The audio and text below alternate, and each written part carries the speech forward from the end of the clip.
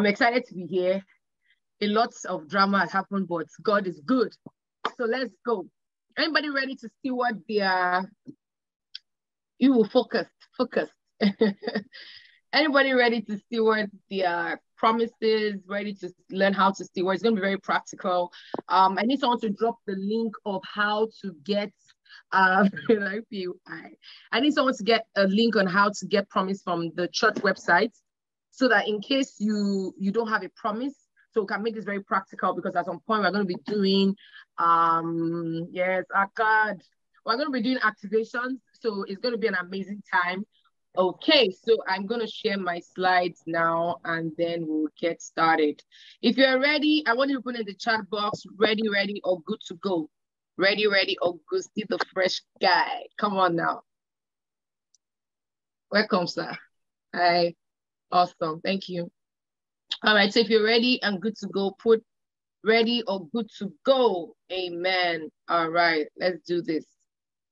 Okay. So let me know if you can see my slide.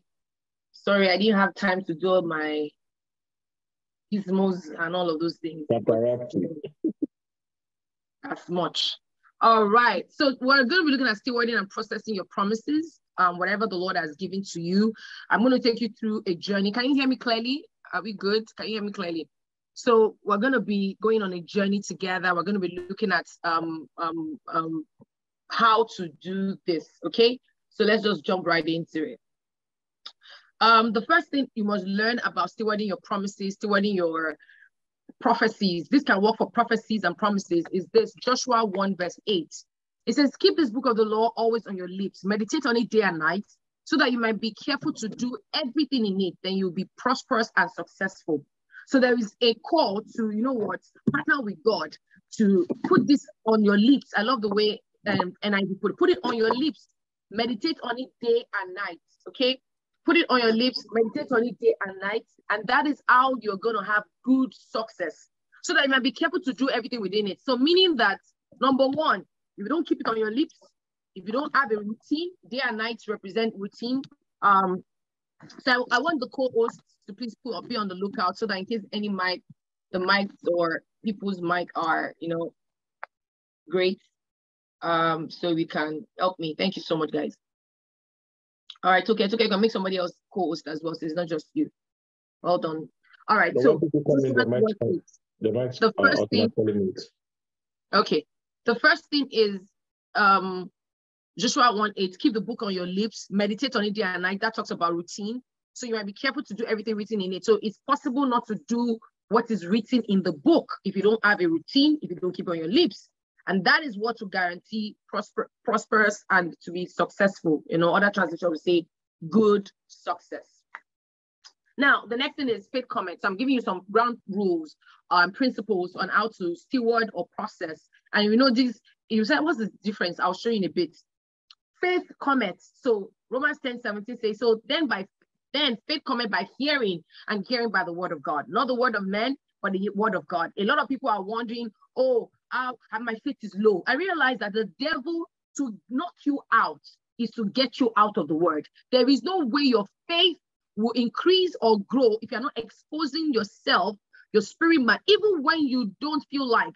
I feel like we have a lot of advantage, advantages in this our generation because of audio Bible. Soak yourself in it. I realize that even when I'm, you know, experiencing some things, all I need to do just keeping certain routines in a couple of days, I've seen my spirit excited, jumpy. You know, when I'm not feeling that thing in my spirit, I know that man, that's my check, my check engine signal. All right. So faith comment. So the first thing is meditate. The next thing is faith comment.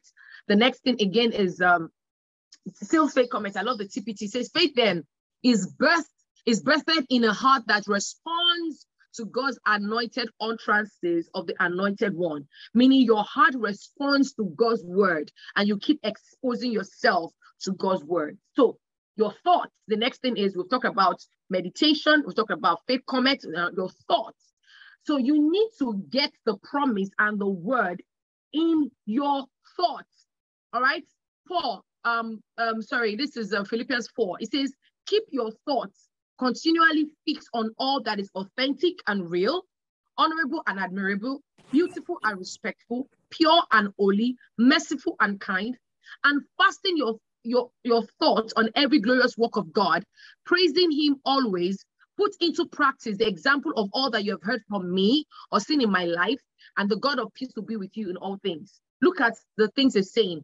You must, whatever is pure, whatever things are honorable, admirable, think on these things. Also, as a certified therapist, what I know is that you can create thought. You can create a thought pattern. You can you can negate a thought by saying, I don't want to think about you again. Stop, stop, stop. You, you are able to counter a negative thought or whatever by creating another thought. The mind is so powerful.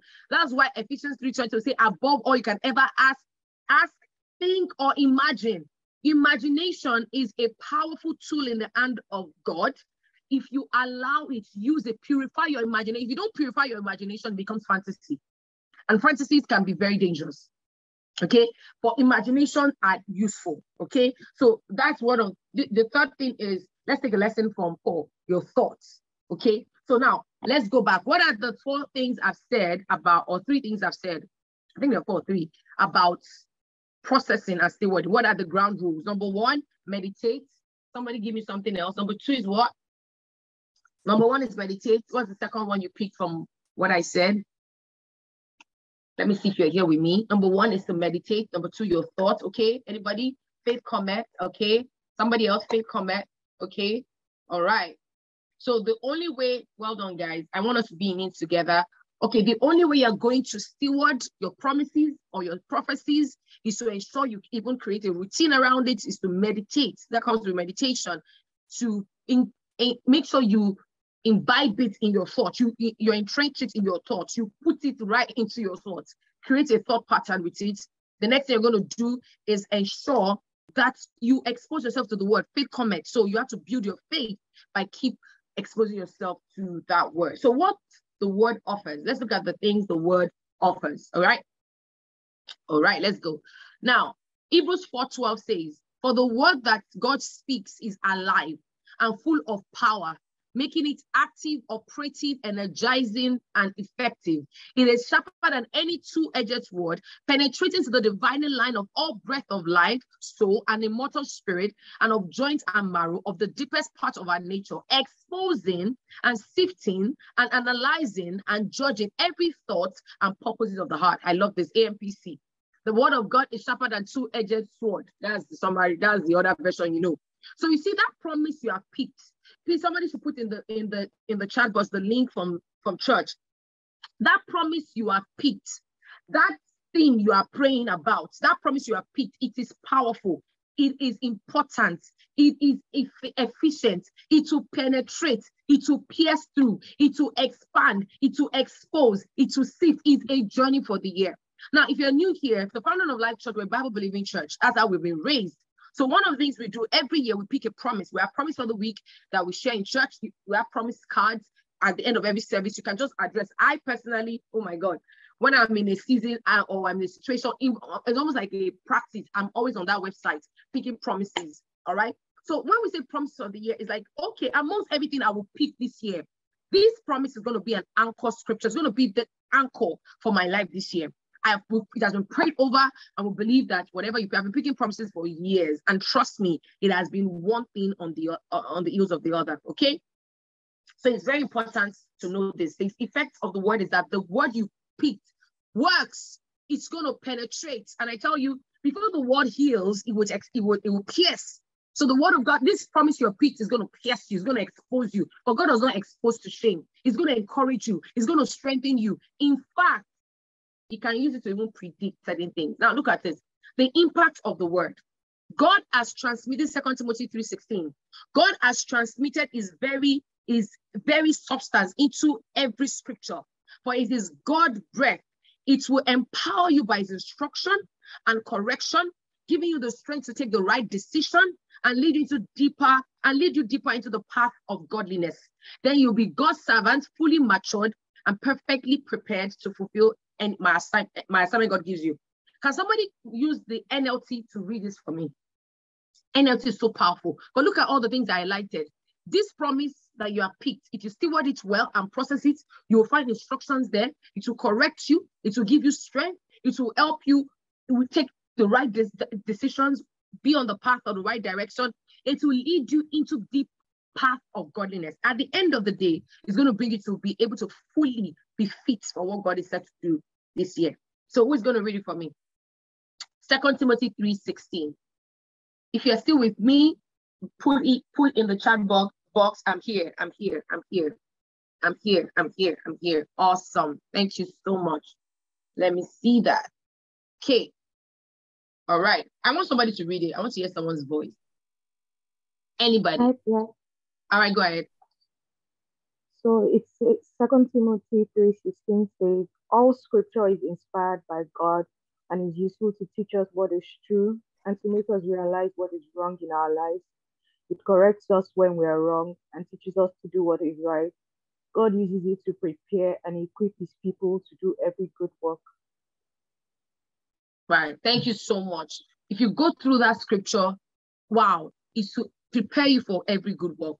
Somebody here, there's God has great things for you this year, but it's hinged on how you are able to process what God is saying. So let's start. Let's go. Let's jump right into it.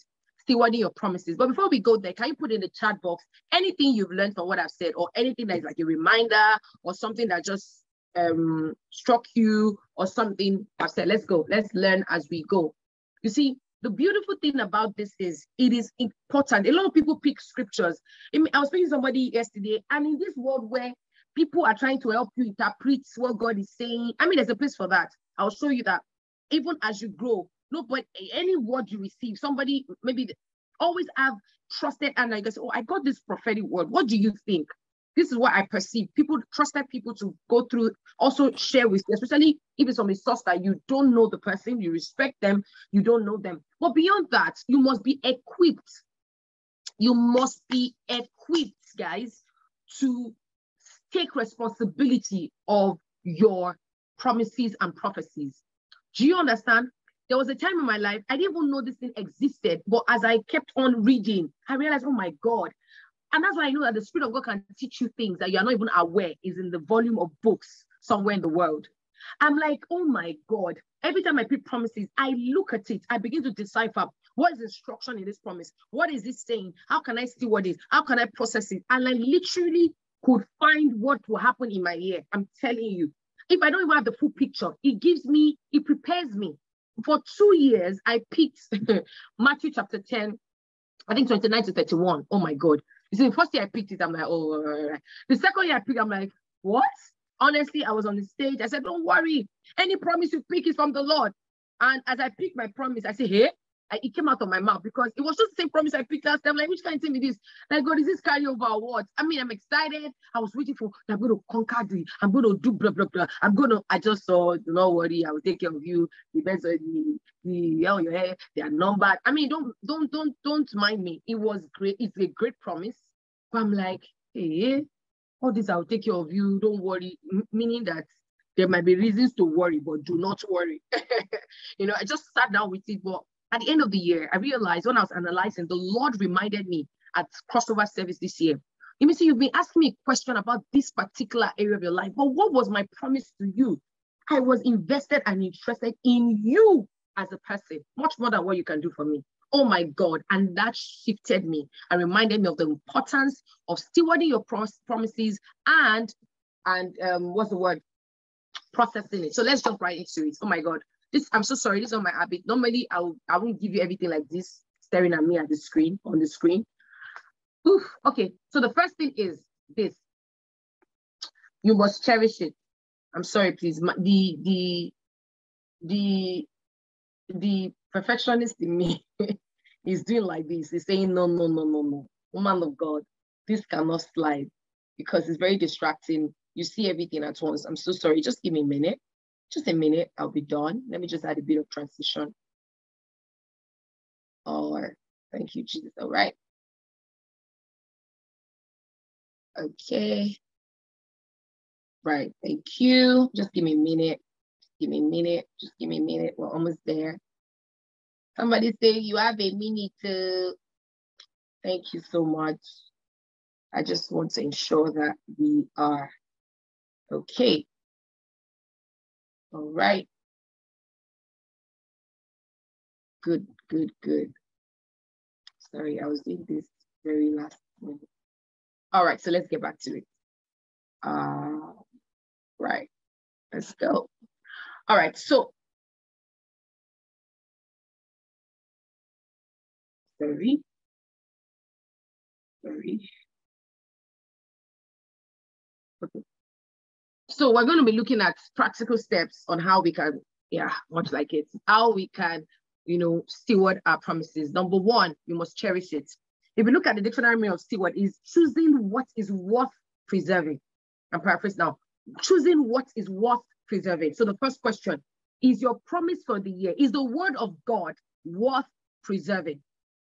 Is the word of God worth preserving?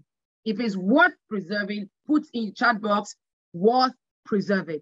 Is the word of God worth preserving? If it is worth preserving, you will cherish it. The first thing you need to know about stewarding your promises is you must cherish it. You must cherish it. It must be golden to you. You are not going to let it go.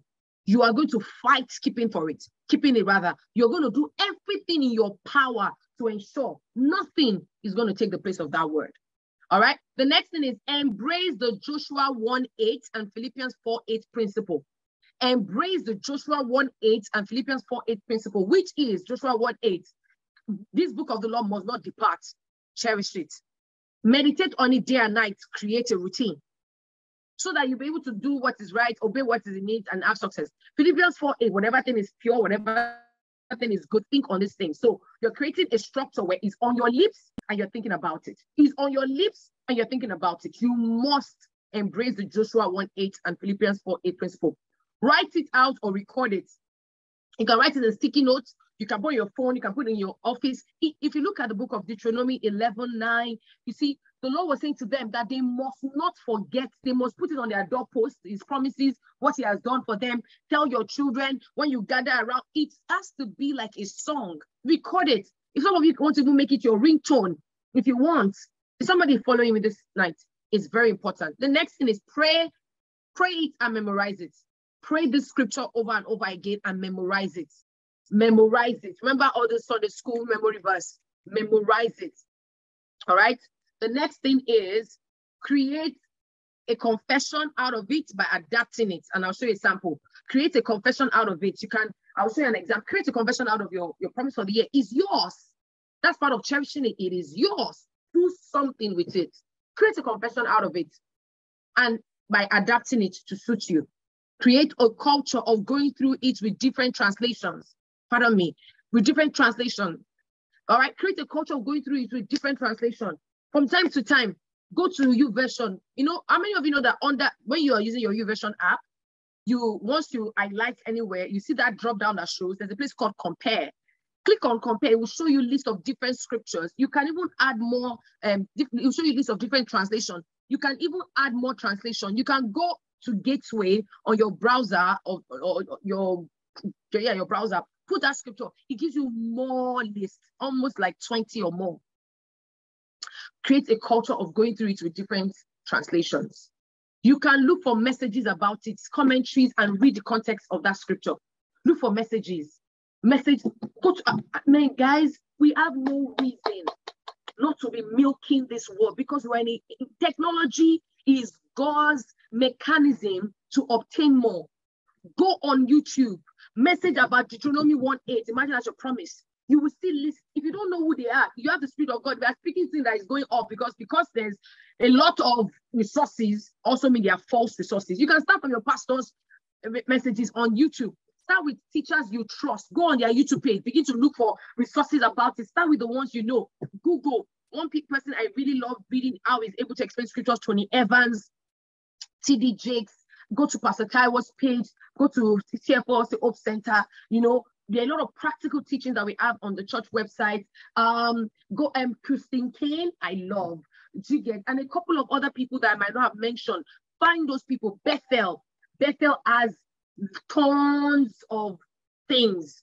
You can go and check it and ask the Lord to lead you. Then check out commentaries. Do you know the comment? Ah, YouVersion. Check out Bible plan on that scripture. Do you know they have Bible plans? If you Google Ephesians in you, YouVersion, Bible plan, Ephesians, go to um, Bible plan, Bible plans, and click on Ephesians. You will see options. So imagine you have a lot. Go to Gateway, go to a couple of places, even if you have to pay for certain buy books, go online, check books, you'll be shocked the things you will find. Is somebody following this? And read the context of that scripture. So, for instance, my promise of the year is Deuteronomy 28, 9 to 10. I'm going somewhere. When I saw it, I'm like, whoa, whoa, whoa, because the question I was asking of a fourth crossover, when I picked that promise, so when I said I saw Bishop say, oh my God, oh my God, so mushy God, because like, I'm to show you I love you. I'm to, I'm to give the entire world for you. I'm to do this. And it's, it's not like that, and Bishop, anyways. By the time my own promise landed, I say, hi, hi, hi, hi. But it's okay, it's okay. God knows how he loves us equally. So I knew what God was saying. I went to read the context of the scripture. Verses before, verses after, if you want, chapter before, chapter after. Do you see that? A lot of us are saying, I don't know what to do. Eh, I don't know the word. Is you, you have not done what you should do with the word. If we engage the word, in God gave you a mind for a reason. If you engage the word intelligently, strategically, systematically, and with all vigor and strength, I'm telling you, you will dig out gold. Somebody said this year, I will dig out gold. And lastly, research, study, and pray. Research, study, and pray. So let me ask you, which of these things stand out to you? Which of these things making sense to you? Which of these things making sense to you? And by the grace of God, this is something we're going to do at Feed this year. For those of you that don't know, this happens every Friday is how to practically live out the word. Our mission is no one will be left behind, is propagating the gospel in a way that no one will be left behind in your sphere. So we are going to dig out gold this year by the grace of God. Amen. So let me take it off screen. Let me now see which one you know. All right. So tell me, then add your own steps. So tell me, which of it do you know? No, not this page. Which of the steps is sticking to you? Put it in the chat box. Which of the steps is sticking to you? Yes, cherish my promise. I love that. Cherish it. Pray and memorize it. Come on, come on. Let me see what you've got. Pray and memorize it. Anybody else? Research about it. Anybody else? Research, study, pray, memorize, look out for related meta commentaries, create the culture of checking different translation, meditation, and confession. Awesome, awesome, awesome job. Guys, trust me, you have a lot. Now, this is an example of personalizing your promise. Personalizing your promise. Let's look at this scripture. Is an example, Deuteronomy 15, verse 6. Now, where I put all this highlight is not what is there, is what I created. When the Lord your God blesses you, that's what it says. I changed it to when the Lord of God, if you want, when the Lord of God blesses me, or you're the type that wants when the Lord of God blesses me, Imisioluwa Owolabi, or when the Lord of God blesses Imisioluwa Owolabi as he promised me, then I, or then Imisioluwa Owolabi will lend to many nations. For I, or Imisioluwa Owolabi shall not borrow, and Imisioluwa shall rule over nations, but they shall not rule over me. So you see what I'm saying? You can adapt your promise. If you see my confession for baby, God will help me. I will go on it to some days. I you I can't even one some I shared with somebody, I have to beg first because you will not even know the scripture anymore. I have personalized, adapted it because it's the word of God. I'm speaking over myself. So you can do this. So personalize it helps. So you can have the so what you can do, our advice, have the real scripture. If you have a note, write the full scripture so that you don't forget. One you can't do, go and preach, you're not gonna preach your personalized version. But that's what it means to take it, take ownership, right? Have the real scripture, then have your personalized one next to it. If you have it like, like me, I have a pen that has different colors and I have it here. I have another one red. Even in my journal, the voice of God has a different color. You see, this Christian life, you can make it interesting. God's voice in my journal is a different color from my own voice because ah, we cannot be, uh, we need to know it now. I even realized that because my journal is long, I need to have a, I'm, this year, I'm keeping a journal for just dreams, prophecies, and yeah, I think dreams are just separate from my journal. So my journal is just me chatting with God my day and some things I learned, blah, blah, blah, whatever. But that one, so that I, it's easy to find the dream because my journal, everything is just eating and all. Some of you want to use different colors. So personalize your promise. All right. How many of you want to explore this? Let me know in the, in the chat box. How many of you want to explore this? And see, there are still a lot of steps. There's still a lot of things that the Holy Spirit will still reveal to you. How many of you are looking, will look into personalizing your promise, personalizing your words, personalizing these things? It will bless you greatly. Trust me. All right. So let's go. I'm happy we're going, we're good with time so we can take questions. We have activation. Now, processing your promise. We have talked about stewarding your promise, processing your promise. They are two different things. Stewarding your promise is different from processing your promise. Okay? Stewarding it is keeping it of value what? The process of getting it into you. All right? Processing your promise is the process of digging out gold from it. I'll take that again. Stewarding I feel like God, if we can do this and much more, the Lord will reveal to us. I have friends that they will record it, they have all the details of every prophetic word. Major things in my life, I will go back to it. I will go. Stewarding is the process of um, of um, of preserving its worth. Processing is the process of digging out gold. Okay, so now let's look at it. Again, it's the process of digging out, dig deeper to find gold. So you have a lot of these boxes. These words are like these boxes. Great words, great word. Mm, mm, deep. It's more dramatic. After you have mm, mm, deep, how do we then dig out gold from your promises and your prophecies? Now, a few steps. Now, years ago, I've been doing this for years. Then I I went to there's this guy called Dano Dano McCollum. He has I, I, I heard him talk about this and I, I'm like, wow, I'll use this terminology to make it easy for you to understand.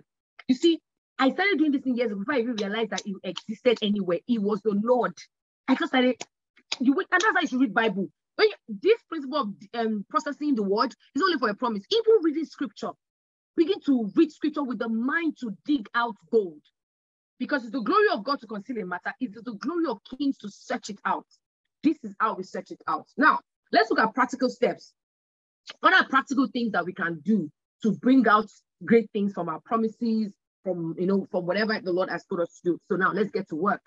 Number one, look out for identity words. Are there words that talk about your identity? For example, you are fearfully and wonderfully made. Look out for identity words. Now, can I say this? some of the promises you pick, not all promises have all these steps. Some don't, uh, some don't have identity words. Like my promise didn't have identity words. All right. But every scripture, there, there's identity word in scripture. So you cannot look for identity word and own it. Okay. I'm talking about for maybe you got a prophecy or you got a promise now. Look out for ident- identity words. Are there words that talk about your identity?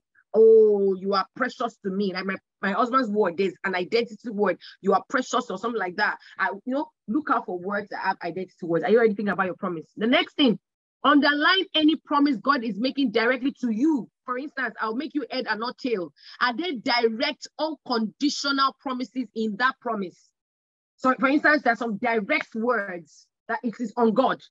Now, this processing helps you to focus on your own focus and let God be God. Because what happened, a lot of us speak promise because we don't know what to do with it, we just drop it. We don't just leave it there. Expect God to do all the work. Or we are carrying it on our head like we're the only one that will do everything. Okay. So it helps you to know what is God's and what is yours. Now, make note of any requirement or condition on your part. For instance, a like if you worship me and serve me, I will. If you do this, obey my commandment, I will. So the promise you pick this year, does it have conditions? Now, remember I said, the fact that you are doing this shows that you are already doing your part. Processing, don't say, ah, my own does not have conditions, so there's nothing I need to do. It's a lie. You. Oh. All that one I said about stewarding, those are things you're doing. Reading in different translation, praying every day, creating a routine. Those are things you're doing, okay? So make note of any requirement or condition on your part. If you worship and serve me, I will. The next thing, mark any word that speaks about timing and season. For instance, by this time tomorrow, weeping may endure for the night, but joy comes in the morning. Jeremiah 29 was clear. I said, You will be here for 70 years. Jeremiah 29 told them, Do not believe what these people are telling you, you're coming out. He says, Marry in Babylon. You'll be here for imagine somebody now going to that promise you'll be here for 70 years. Now, it might not mean 70 years. It shows that there is a timing. God is speaking about timing. And for a lot of us, sometimes this promise has different feel because of God knows where we are and what is needed. For some of you, what you need now is not even maybe timing. You know, there's timing. Maybe what, what you need is to know your condition that God is calling you to do. For some of you, God is really speaking about identity. For some of you, is God is making promises to you. So you process those prophecies that way. Another is make a list of any metaphor of any metaphor or biblical references that you want to research into. For instance, if you pick a promise, I say, look at the ants, or as the walls surround uh, um, Jerusalem, or as the cities around Jerusalem, or the scripture of I am the vine, you are the branches. That's John 15. When you pick a promise that has a lot to do with metaphor, or look at the lilies of the field, God is asking you to go and study. So you want to research more. I remember one time I kept picking promises about pruning. John 15 was so strong in my heart. The Lord kept highlighting John 15. You know what I did? I went to I went on YouTube. I studied how do they prune the vine or moment. It gave me context. I researched. The same God started speaking to me about harvest. Hey, my God. So when I researched about vine, I realized that they will strip the, they will cut it. So when God said any any tree that any food, any tree that produce, I prune it, I cut. I cut. I'm like, hey, yes, it will, be, it will be uploaded on our YouTube. I cut it. I started seeing how they prune. So when God said, I'm pruning you, I'm having context. God is pruning not just excesses. Pruning is only for trees that produce. So if you read the scripture, it didn't say those that don't produce, I'll prune. It said those that don't produce, I'll cut you off. Those that produce, I will prune. There's a reason why God will use that word. So when you pick a promise that has metaphor or biblical references, oh, you are Cyrus, oh, you are Nehemiah, you are something, you want to research into it. You want to, you will dig deeper into it. Notice how many times, another thing when you're processing your promise, notice how many times a word, idea, or, or, or theme is repeated. Determine the major and minor things with your prophetic word. For instance, Mark 11 23. If you say to this mountain, and you do not doubt, if you say, you can count how many says are in Mark, Mark 11 23. Anybody know it? Have you, has anybody really ate this Mark 11 23? Let me see how many people are the. All right. How many people have read that Mark 11 23? God knows there are more than, I'm sure there are more than two say. He shows you that there's something about saying. So, for instance, pick a promise, I keep saying, if you see, if you see, there's something about you seeing. Why is this important? It begins to show you how you can dissect your word. It's like a scientist. You are dissecting. It's like taking the microscope and putting it closer on your promise, taking your responsibility, trying to dig deeper to see what God is saying to you about your promise and about the year. Remember, the essence of this is to help you gain clearer perspective and accurate view to what God is saying to you. Okay? So, do you want me to take it again so you can see everything? All right? Sorry, let's see everything. Look out for identity words. Underline any promise God is making directly to you. Some of those promises are not conditional. Sometimes you can have a promise that have conditional and unconditional. It's fine. Make note of any requirements or conditions on your part. Mark any word that speaks about timing and season. Okay. Um, look at words that are talking about metaphors or biblical references that you can research on. All right. Notice how many times a word or idea is repeated. All right. So that sometimes is showing you what is God emphasizing in your promise. If you are here, tell me, put in the chat box, what have you learned? Come on, come on, come on, come on. I'm sorry. So a lot of people could not come in, come in because we are really full. We don't want to make space for you by God's will next week because we're taking a step further again. So, all right, put in the chat box, someone, what have you picked from this? What's standing out? What's standing out? What's standing out? What's standing out? What's standing out for you? Anybody put in the chat box. Does this resonate? Is this interesting? Has this impacted you? Has this impacted you? Is this practical to you? Is this helping somebody to see that when God gives you a word, you don't put it under your pillow? It's not enough to shout word. It's not enough to cry at the moment you pick the word. It's also for you to go over it, on your promise, sit on it. The practicality of processing your promise. Amen. All right, so now let's get to work. Let's get to work. And those there more. All right, let's see. What do you see? Let me see how many of you can get this. What do you see? Anybody is there an identity word in this scripture, in this promise? Is there any identity word? Is there any identity conditional word? Yes. Can you identify what what is the what is the identity word? You know, I just saw something I've not seen in this promise since, but I've seen it. What is the identity word? Anybody? Well, I don't know. No, no, no. Good. It's only people.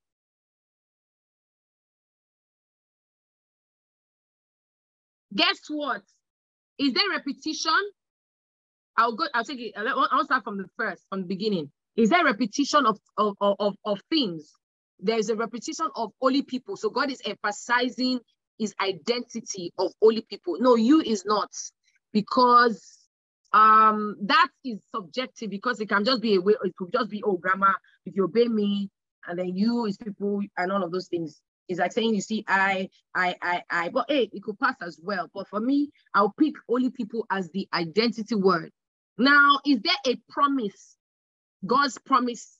Is there any promise, direct promise God is making in this scripture? Can you put the direct promise?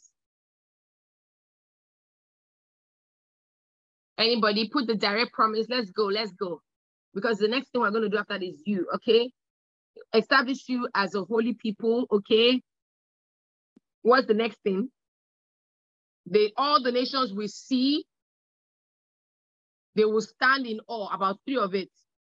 They will see, they will stand in awe. I not say I will not leave the year. Oh. Is that I will not leave the year? They will stand in awe. Okay. Now, is there condition? What's the condition in this scripture? Is there a condition in this promise? Maybe another translation, so that's fine. Yeah. Another translation, yes. What is the condition? If you obey my command and what? Walk in his way. So this promise has two conditions. You see, if you just obey my command, I actually, if you said obey my command, that should automatically mean walk in his way. So I can actually obey his command and not walk in his ways. So that walk in his ways, I can use scripture to interpret scripture. He said, if you are willing and obedient, you eat the good of the land. So what is God speaking about walking in his way? I have to obey and walk in his ways. Is there a repeated theme? We've said that that is the holy people. Is there anything about timing in this promise? Is there any timing or metaphor in this promise? Is there timing or metaphor in this promise? No. Good job, guys. So you see, you're ready to process yours. Good job. Now, look at it. If you obey, walk, or it's only people, then you are able to analyze it properly. Well done, guys. So now we're going to do yours. So it's time to practice. Now we are going to do yours.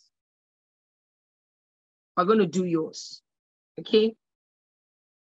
Who is ready? Who is ready? Who is ready? Who is ready? It's time to practice.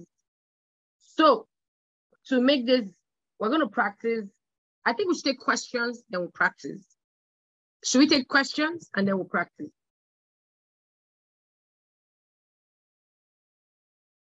So, to so number one, everybody bring out your promise or quickly pick something from that place. So we're going to take questions first. We're going to take questions. We're going to take questions before we practice. So if you have a question, put it in the chat box, or if you want to speak, raise your hand, but you have to go straight to the point. If you have questions, raise your hand. If you have question, raise your hand. Anybody raising their hand, or you put it in the chat box. I have a question. If you pick a verse as a promise, do you have to read the entire chapter to note other identity words and me me metaphors? Well, that because that promise is what is highlighted to you. But what I said about reading the entire is to know the context. It might help your understanding. But I would think I would advise for the process. You know, I said for stewarding to understand it better. You can read the entire chapter, chapters after, before, whatever as you want. But what you are really processing is that portion that was given to you. let me give an example. That my promise for that my promise for the year, Deuteronomy 28. When I read it, I got a context that all more is a scripture of blessing and curses hinged on obedience or disobedience. So it helped me to understand that whatever I'm processing in this my verse is not in isolation to the entire chapter. That might help you understand. Okay. But I know cases where people then like the verse before, like the verse after my own oh, almost sweet. I was like, ah, oh God, that's fine. If we just add this chapter 11 too. But I know that the entirety of it is not is not a what if your promise is a chapter, not a verse? Then you process everything. But if it's the promise to pick a fountain, it's usually a verse. However, the Lord gave you a, a chapter. Let me give you an instance. Um, at the beginning of the year, I was reading one of the uh, scriptures, and the Lord gave me, I, I want, and uh, you're fearfully and wonderfully made, was one of the scripture assigned that to be read. So when I went to that scripture, I used the TPT translation, and the entire chapter ministered to me. And then I said, you know what, I'm going to make it a point of duty to just begin to read this. So I'm processing the entire chapter with God. So you can, you can. I said that this process is not just for your promise.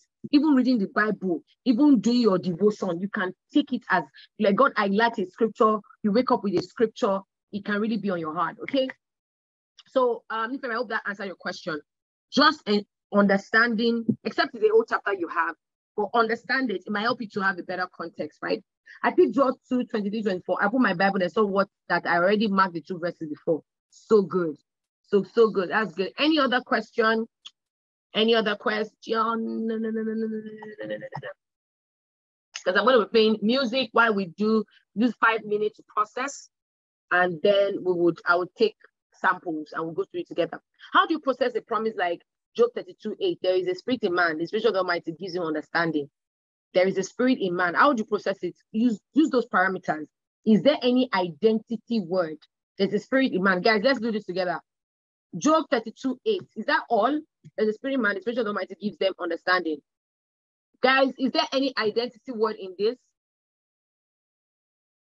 That's what I was saying that sometimes you might not have all of the parameters I said, and that's not the only way. Okay, but that's just a guide. Oh yeah, now where are my where are my people at? Is there any identity word in this? What is the identity word? What's the identity word? Man is spirit, absolutely. Man is a spirit being. So God is highlighting you are a spirit being. That's scripture. Then next, was the thing? The waiting, uh, the inspiration of the Almighty gives them understanding. Is that a promise? Is that a theme?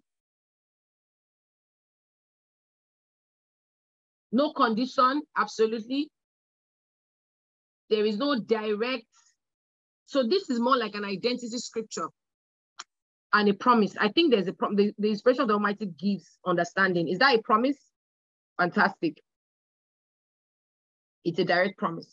So I hope that answer your question. So if you open, if you if you open your heart and just use those guidelines or anything else, every word. Remember what I said in the book of um, um, Timothy that says that every word of God has been given as inspiration to correct. There's something in every scripture. Uh-huh. Thank you, Temilade. And then if you use other translation to blow it up. So that's very important. That's very important. No, it's a promise, actually. Because what it looks like is this if you don't have the Spirit of God, you don't have understanding.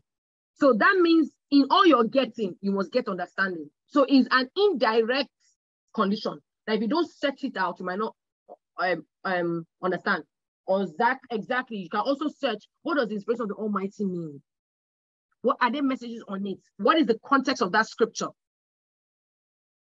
All right, so wonderful. That's a good one. Thank you. That's very good. That's that was a very good one. So that's an example of you might not see, you might not see a direct condition, but if you look at it well, uh-huh, so I think he's struggling to engage with the Holy Spirit. Fantastic. If you look at it well, he's saying that it's the spirit of God that gives understanding. There's a spirit in man. So that's a that's an identity. You're a spirit being. You cannot access understanding by the arm of flesh. All right. The inspiration of the Almighty is the Holy Spirit. Because I know that is part of my name. That scripture I used to use it to say that that's my name, Imisioluwa, the breath. When someone says not breath like that, anyways, Sha is close to the meaning of my name. All right. Any other question before we go into activation? Ginika, stop laughing. I picked one some foreigners submit to, to me as I create. as soon as they hear me, they obey me. Okay. All right. Anybody else? So that's I want us to process it first before I start to so that so now we're going to process it. I think there's no other question. Ladies and gentlemen, I'm going to give you a moment. I'm going to be playing a music a, song. I want you to bring out your promise, and I'm going to take this person, and then we would process all these great things. So I need you to do the work now, based on all I've said. Somebody, can you type the steps for me? Is there Ah, okay? Let me just put that on the screen. Let me put that on the screen so that I can, ooh, how do I do this? I want to play music and put something on the screen. La, la, la, la, la, la, la. Okay, so maybe it's not music time, it's work time. So let me put it on the screen. This is the first part. Look for identity words. So pick out your promise, everybody. Look out for identity words. Don't just look at it to if you don't just look for it to just say you are my child alone. Is there and look at it like that there's a spirit in man the way it came. As an identity man is spirit. Underlying promises god is making directly to you. Are there promises that is being made directly to you? Make note of any requirement or condition on your part. Mark any word that speaks about timing and season. Well Ginika, that's your promise. Interesting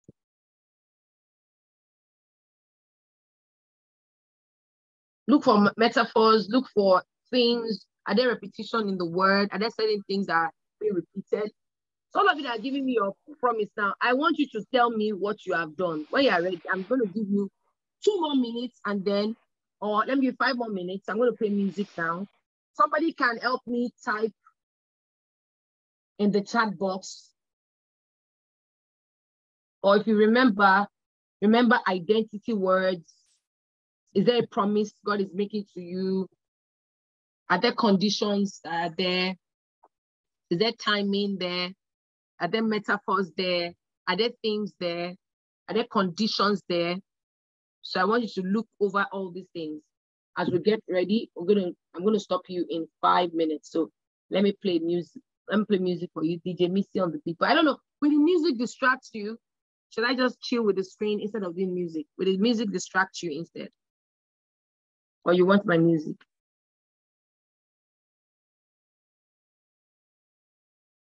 We're going to put this on YouTube as well. It's very easy by God's grace. Before later tomorrow, this should be. music is fine. No music. Wow. Wow, wow. How do I process this word now? Somebody help me. How do I process this word? Okay. No music, please. Uh, no music is winning. No. Let me just go back to the screen so that we can focus on our work. Okay. Well, like, please don't distract me. If I start hearing the, the song, I think that's my promise. Okay, so let's go. All right. Wow, Miriam, that's a promise. Interesting. Oh, I begin to process it, begin to process it. I'm only going to do one. I'm going to just randomly pick somebody and do this. I want to hear from you. The idea of this is to see you engage this as well. Is to see you engage this promise. You, you know, you can do this for prophecies. This actually for prophecies as well. Anytime you get a prophetic word, are there identity word in the prophecy? Is there condition in the prophecy? Is there timing in the prophecy? no, yes, Bishop. In fact, you know, the no says it all. You know, um, yeah, just pick out things basically. All right. Okay, let's keep going. Love you, Bishop. I just thought to say that. It's part of my identity word. so, guys, I'm just going to give you a few more minutes. Wow, people are having some interesting Interesting promises. Interesting. If you're ready, if you have yours, if you have done yours, just say read done, done. You're ready. If you've done yours, say done. So I could take you. All right. Dr. Oyin, do you want ah on my way? All these people's promise. You know, hey, I cannot just be jealous in people's promise. I love it.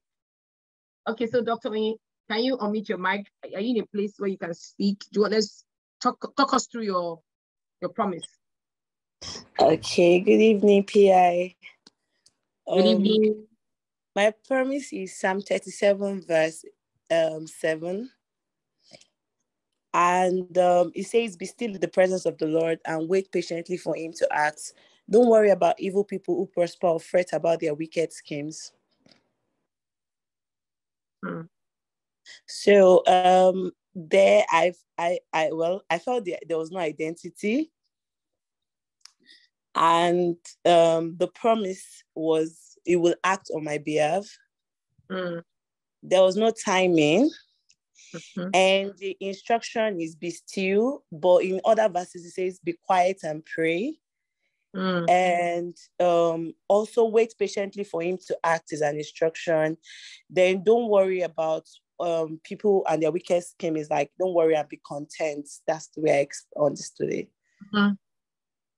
And there's a lot, and there's the presence in the presence. So you're not just, it's not just about waiting and still. There's something about the presence of okay. God. Okay. Bringing the act on. Well done, well done, well done. Yeah. Good job. I agree with you. I agree. You did a good job. Anybody else? Thank you. Anybody want to go? Why, me? Do you want to go for it? For it, let me hear you. Then I'll come to Moji. I can hear Moji screaming. I'm getting up. Me. All right, for you, let me hear you. Yeah, so my promise was Genesis ah, 22. Actually, you have to speak clearly so we can hear you. Uh, sorry. Please, can you hear me now? Yeah, it's okay. Go ahead. Genesis 22, 17 to 18. It says, um, I'll certainly bless you. I'll multiply your descendants beyond number, like the stars in the sky and the sand on the seashore. Your descendants will conquer the cities of their enemies, and through your descendants, all the nations of the earth will be blessed, all because you have obeyed me. So hmm. um, at first, um, at first, at first glance, there were no direct identity words. There are promises that God is making directly to me concerning my descendants, and all these promises are saying God. God is saying that you personally, He will see to it that this is done.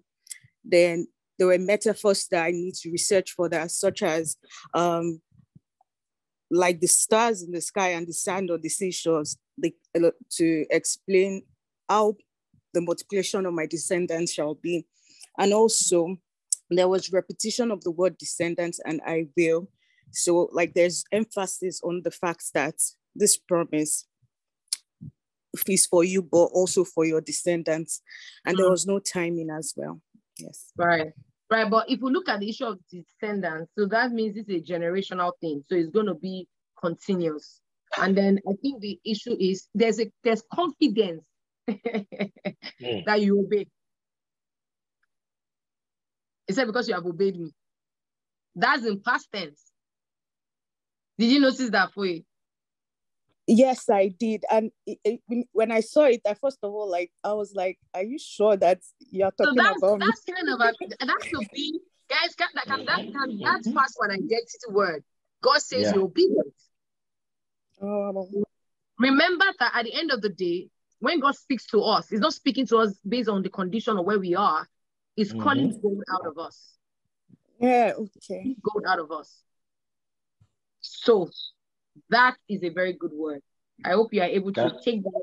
So that means you have to. Also just chip something. Yeah, go ahead, Bishop. Yeah, I think that also just talks about your marital destiny. Sometimes we try to look for this spookiness mm. of words. This also says that if you're going to have descendants, you you get married, you have Come kids. On. You know, sometimes you look at these words and some these are ways that God also uses to comfort you. Like God is already talking about your children's children's children. And mm. you're like, ah, God, when will the guy come? When will this guy like I'm done past that. Like we are talking about future right now. So I just thought to just chip in that for someone. Yeah. Wow, this is so good. This is so good. Thank you so much, Pio. I like it, Pio. Mm. Yeah. All right. Anybody else? That's it though. Oh yeah, Ginika. I'm sorry. Ah, don't let Moji. Moji, you're next.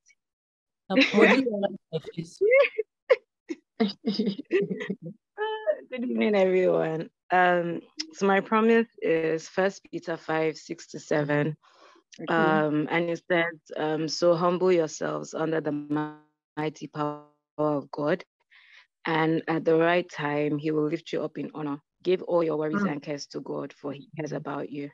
Um, so um, there's no identity word here, um, but there are two promises. And the first promise is that at the right time, he will lift me up in honor. And the second promise is that he cares about me. But it comes with instructions, mm. which is um, I am to humble myself under the mighty power of God. I am also supposed to give all my worries and cares to God. Um, so, yeah, that's it's pretty straightforward for me. So, interesting. Well done. Well done. Um, Ginika, Okay, so my promise is... like someone that's been waiting. I say, Auntie, I, Auntie, I. Please, please, yeah. yeah. um, so um, Philippians 4 19. So, um, from TPT says, I am convinced that my God will, will fully su- satisfy every need I have, for I have seen the abundant riches of glory revealed to me through Jesus Christ. So that alone was a starting point. Just thinking about it says fully, fully satisfied. Nothing will remain. Everything will be complete. And so when I will talk about what I did before this and what I did with what you've shared with us. So I started researching on it and I checked what needs meant. Needs are necessities. And then I went to Maslow's hierarchy of needs. And then I was like, yo, everything you need is there. But when on, I say, when I no, you took it Ah, love it. Yeah, Go ahead. just scattered my head.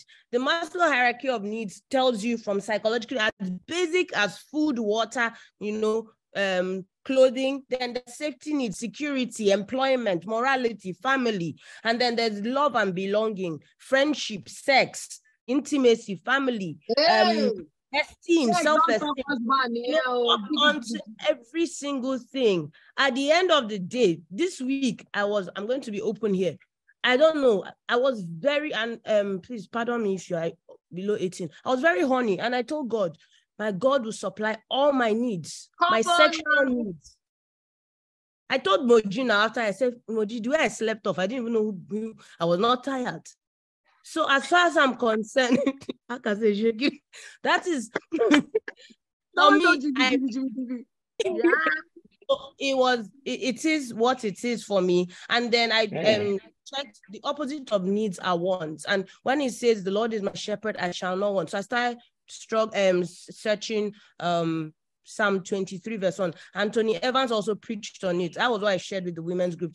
It was another level. And then I now saw that Matthew chapter 6, verse 27 to it now tells you that why do you worry? You know, if you're so I just broke it down. There are different levels to it. I'm still going through it. But when you now talked about identity promise, I saw that there was an identity there that I had not noticed. It says mm. that I have access to his riches. Now, in another translation, it says you have um, he shall supply all your needs according to the access you have in his riches in glory. Come on. Mm. Also, mm. it just tells me that I have access to his riches in glory, but it's in Christ Jesus. You know, it's not any random person, Guru Maharaj, it's in Christ Jesus. So that's, and then it's for me, I think it's a direct promise. it's yes, a direct promise. And the timing for me, I, it's not timing in t- sense of duration. It was the um all my needs, all I, I put it on oh. that time, everything, you know. So um in terms of the condition, I think that's where I'll get to when I expand it, especially from Matthew chapter 6, where it tells you, you then focus on your intimacy with God and every other thing. I'm not worried.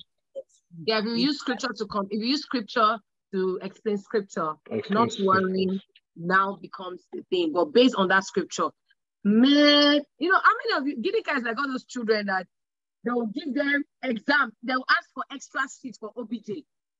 It is OBJ. They're not supposed to paint. Shade, shade, shade. Just shade.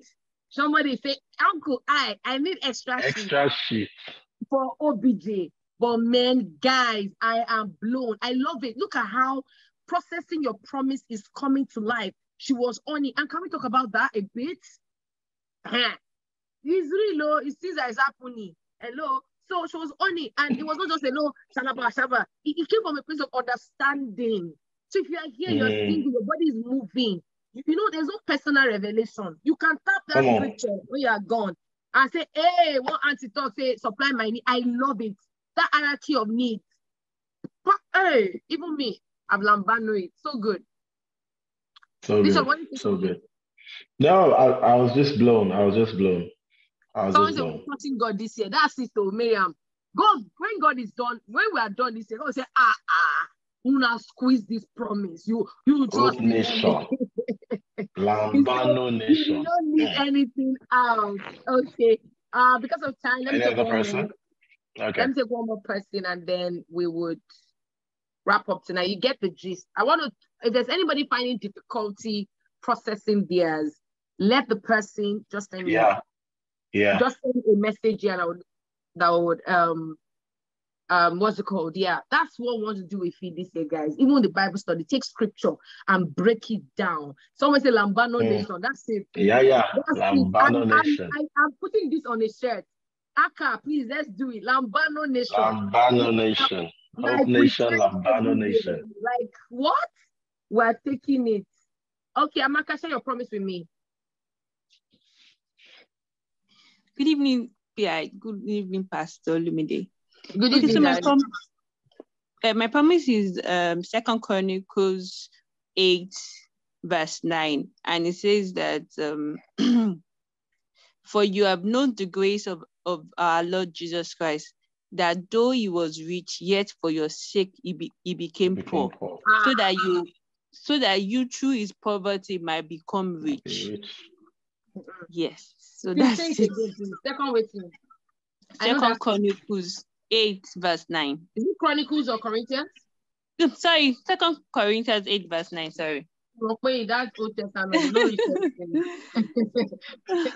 Second Corinthians, Corinthians 8, verse 9. Okay. Now, number one.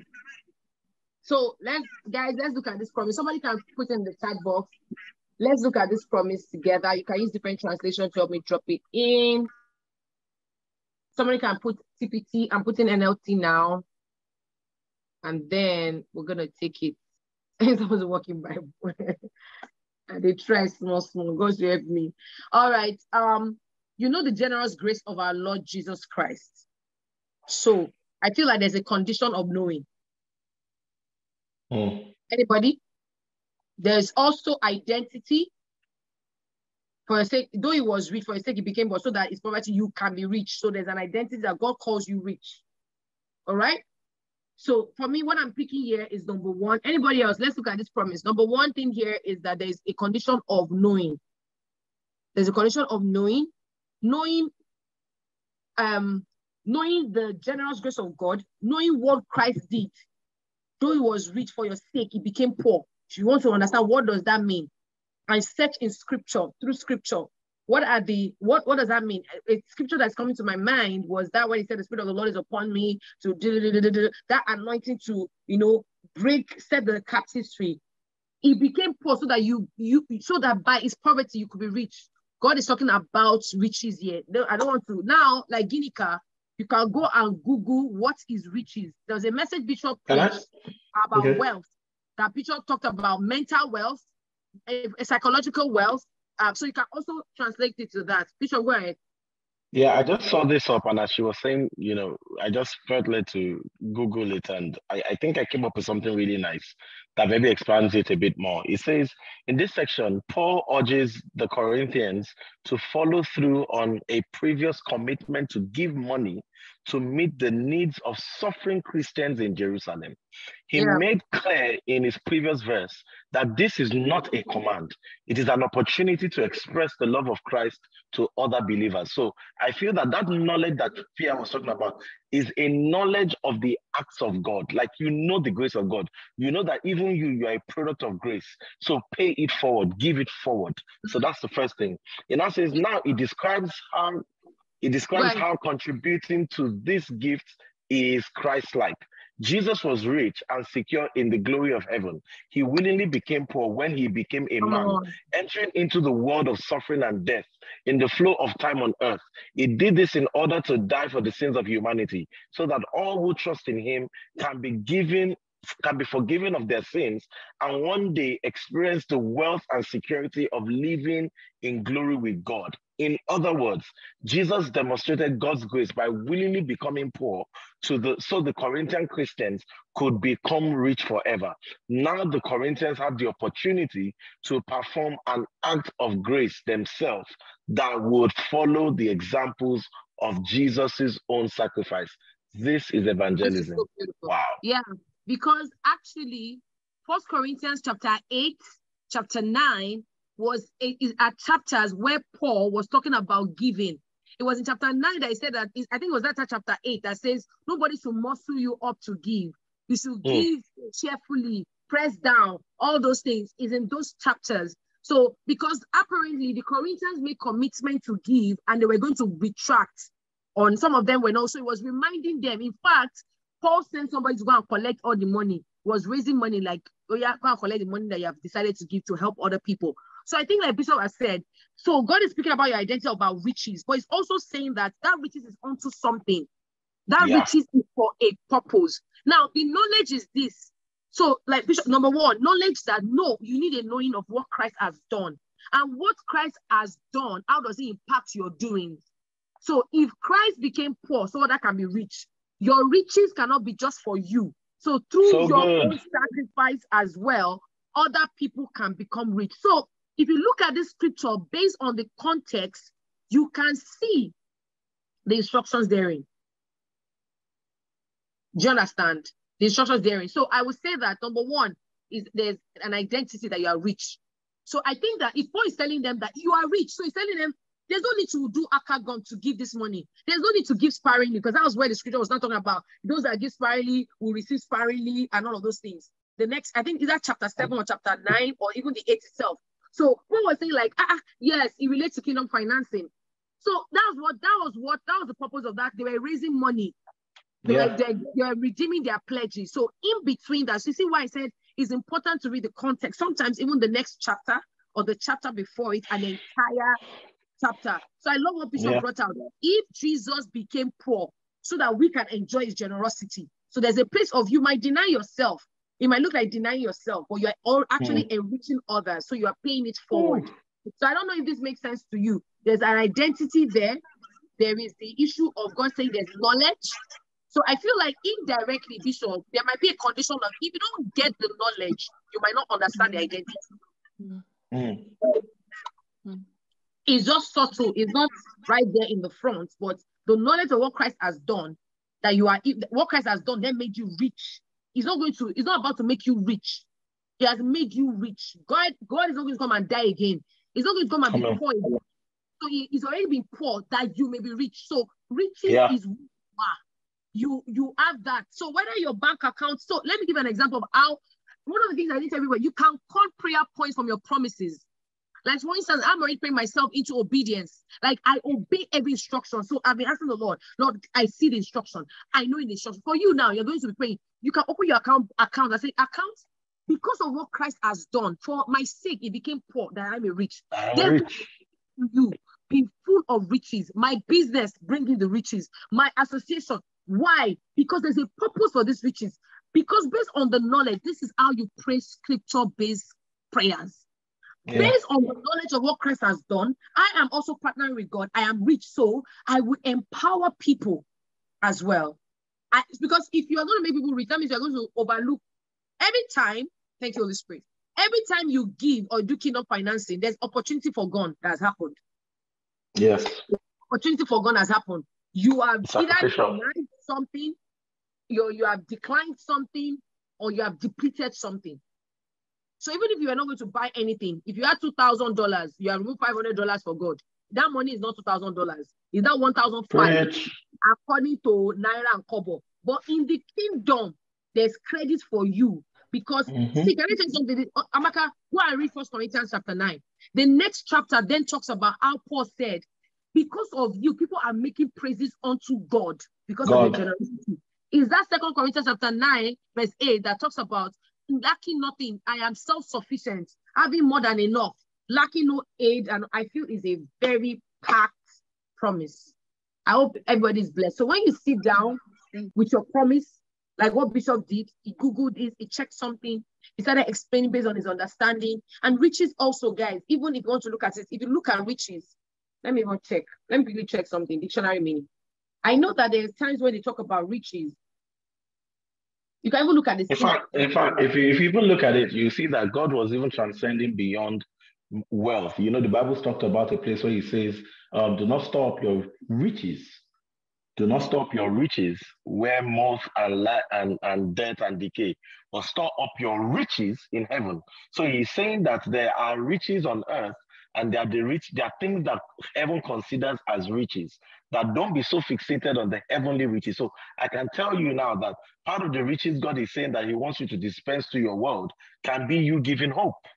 It's not financial, but it's hope. Mm-hmm. In a world where people are constantly speaking negativity, you Thank you, Holy Spirit. Now, see what the Bible says. It says that you that have been a product of grace, meaning, Amaka, there is something about your salvation story that was a pivotal thing about what God did for you whether he brought you out from penury, he brought you out from a bad, you know, uh, uh, uh, uh, maybe a bad life, you were you were you were chaotic or whatever, or you used to be suicidal, or you used to have many sick thoughts, or very very you know weak, low self-esteem. That is the work of grace that God has brought you out from. Now He's saying to you that now that you know that this that you have received is a work of grace, you have the empowerment to deliver other people that may be in this same stead out of it. So if it is financial riches, it is the fact that, oh, you were poor, now you are being made rich. But God is saying that, see, when you lack low self-esteem, I lack low self-esteem so that you can have high, high self-esteem. And because you have high self-esteem, deliver somebody that has low self-esteem. Come on. Because I am in you. Come on. That is riches. Good. That is That's riches. So good. That's so good. Bishop, remember that scripture that also talk about that the Lord will supply your needs according to the riches in glory. So there in are glory. riches Thank you. It's not limited to finances. And it's not limited. If you check dictionary, they will tell you that when you talk about riches, not just material, say valuable possessions. Yes. So guess what? Grace is a valuable possession. Ah, Salvation is a valuable possession. Redemption Peace of mind. is a valuable possession. Peace of mind is a valuable possession. Mental stability is a contentment is a valuable possession. So Jesus has done all that so that you can have these valuable possessions. And in having these valuable possessions, you can help other people have valuable possessions because it, it never stops with you. Yes. Never. You are wow. blessed to be a blessing. This is so good. I think we're going to do this again. We're going to look at people's promises again next week and just go one because I'm even encouraged as we're reading. See, that's the thing. As you expound on scripture, it, it gives you strength. It, it builds you up. Let, as we wrap up, and Bishop will pray for us now. Can I say something to you guys? There is no, see, if you are sick and they rush you to the hospital, if, if someone is short of oxygen and they rush to the hospital, they will never give you nitrogen because you say oxygen is not working. It's still that same oxygen that you have been taking in that is short that will give you. What am I saying? Yeah. Because you are using the word and you say, ah, the word is not working, when you go to God in prayer, what will He refer you back to? The same the word. word. Prayer. is the same word. Is the same word. He's not going to give you anything else. Why? The word cannot, it can't break itself. Two immutable things. His promise, the it can, his name rather, and his word. He cannot. Dr. Emisio, he cannot. Wait, Abby, Dr. Uh, Uyime and uh, Dr. Umore, if they run somebody to hospital, they say, no oxygen, no oxygen. Then they say, ah, ah, that means oxygen is not working. Put nitrogen, mm. put something else. It will destroy you. Or put carbon dioxide or whatever. They have to, right, doctor? Am true, I correct? True. Doctor? doctor. You're, you're correct, ma. exactly. So the same thing with the word. I want to tell you whether you have been praying, you have been scambashing, you see, my life is not mm. changing. It's the word. It's the word. Can you see that a lot of you have not been reading the word? Look at how we're dissecting the word. And it's not because we're pastors. We did not think about this before we came. It's a case of mm. as you open it. And that's why for us as a church, in the cells, in the department, and even for feed, as you open that word, be reading it. This is how you study. That's how I read scripture. I will go to dictionary. I see a word. What does it mean? Uh, uh, grafted. What does grafted mean? I go on YouTube. See, you have been grafted into Christ Jesus. What does grafted mm. into Christ Jesus mean? I look at YouTube, grafted. Ha! That's how they are joining me to Jesus. It, it changes how you understand scripture. So it's the word that will do it. And I'm just thankful to God for the opportunity to share with us. We're going to continue next week. Please tell your friends. The recording will be made available for you by God's grace tomorrow. Just go to our YouTube page, subscribe on our YouTube page, put on the notification bell. So as soon as it's uploaded, you would find it available to you. Over to you. Yes, ma'am. Um, I just want to say, Father Lord, thank you for this.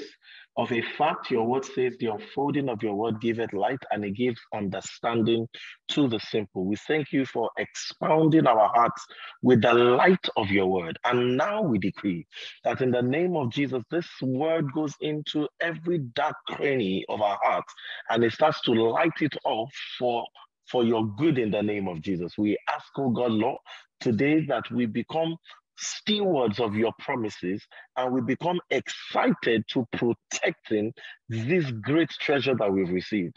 Today, I pray for those that have been under any form of bondage.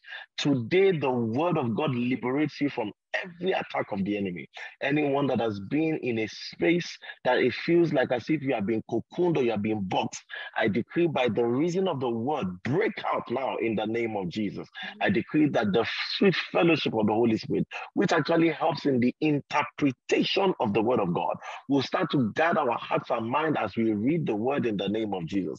And lastly, I decree over everyone joy inexplicable, full of glory as you imbibe and as you cultivate time with the word, you would burst into new levels of joy. Not the joy that comes when you receive physical acquisitions, but the joy that comes from the true nourishment of your soul. I decree that over everyone here in the name of Jesus. I pray for anyone that is in a space of condemnation where your the enemy has been condemning you. I curse that word that the enemy is saying to put you down. I say, for there is therefore now no more condemnation for those that are in Christ. Rise up, son and daughter, in the knowledge of God that you are, and be undefeatable. I decree in the name of Jesus that the Egyptians that you've seen before, you shall see no more forever in the name of Jesus. Arise and shine, for thy light has come, and the glory of the Lord is risen upon you. It is well with your spirit, soul, and body. In Jesus' name we pray. Amen. Amen.